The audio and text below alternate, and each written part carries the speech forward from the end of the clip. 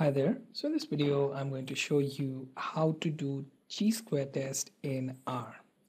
So first, let's start with what is chi-square test. So chi-square test is a statistical method to determine if two categorical variables have significant correlation between them. Here, both variables should be categorical like let's say yes and no answer or let's say gender male and female or you can options such as cancel or okay etc so when you are performing chi-square test you need data. So let's start with our R studio. I'm going to create new R script. And here what I'm going to do is I'm going to set up working directory. Next thing I'm going to load library okay?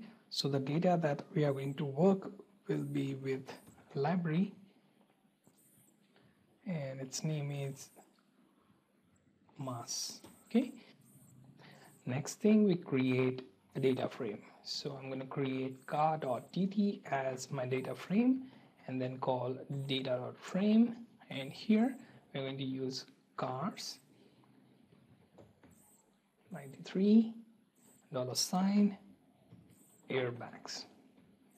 And also we will use cars 93 dollar sign and then call for type. So we are going to check between airbags and type within our cars 93 okay so next thing after this is to get the table with required variables. In our case which is car dt and we're going to call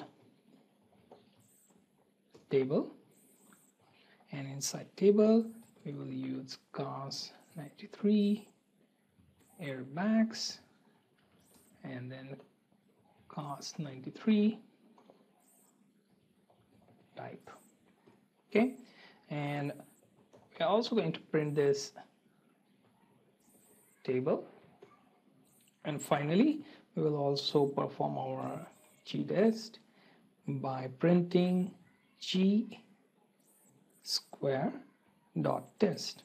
And here we pass our car.dt table. Okay so let me run this stepwise. So first step setting working directory. If you choose to print this out you can also call for mass library. Next is to create data frame. And you have your data in global environment. Next is creating table. Next thing we will go for table. And after that print the table.